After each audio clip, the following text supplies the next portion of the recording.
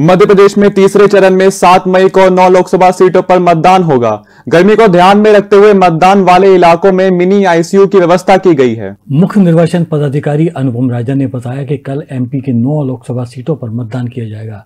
इन नौ लोकसभा सीटों पर 19 ज़िले शामिल हैं। गर्मी को ध्यान में रखते हुए मिनी आईसीयू, पानी, टेंट, पंखे, कुर्सियों की विशेष व्यवस्था की गई है। सुरक्षा के लिए दो सौ निन्यानवे प्राइम स्कॉट तैनात हैं। नौ सीटों पर कुल 127 उम्मीदवार मैदान में हैं, जिनमें नौ महिलाएँ और 118 पुरुष हैं। सबसे ज़्यादा प्रत्याशी भोपाल लोकसभा सीट पर, जिनकी संख्या कुल 22 है। सबसे कम प्रत्याशी भिंड लोकसभा सीट पर है, जिनकी संख्या सात है। नौ सीटों पर बीस हज़ार चार सौ छप्पन पोलिंग बूथ बनाए गए हैं।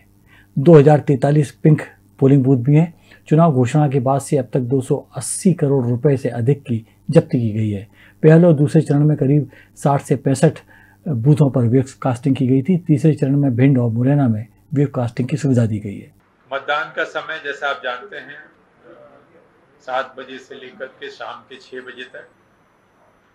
और सारी कार्रवाई जो मतदान से संबंधित होती है मतदान प्रारंभ करने के पूर्व पोल की कार्रवाई पोलिंग एजेंट्स की उपस्थिति में। और मतदान का समय जो अंतिम समय होता है, उसके पहले जो लोग मतदान केंद्र पे आ जाते हैं, उनको पर्चियाँ दी जाती हैं और सभी लोग मतदान की प्रक्रिया में भाग लेते हैं।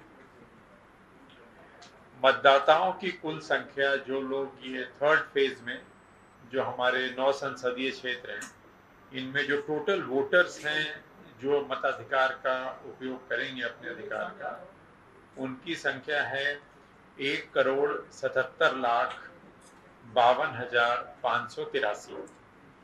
एक करोड़ सतहत्तर लाख बावन हज़ार पाँच सौ तिरासी। One double seven five two five eight three.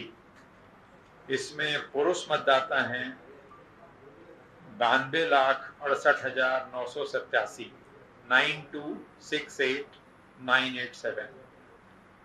और महिला मतदाता हैं चौरासी लाख तिरासी हज़ार एक सौ पाँच। Eight four eight three one zero five. Third gender four ninety one. यदि हम श्रेणीवार देखते हैं तो जो दिव्यांग मतदाता हैं थर्ड फ़ेज़ के लिए, उनकी संख्या है एक लाख छियासठ हज़ार चार सौ इकतीस।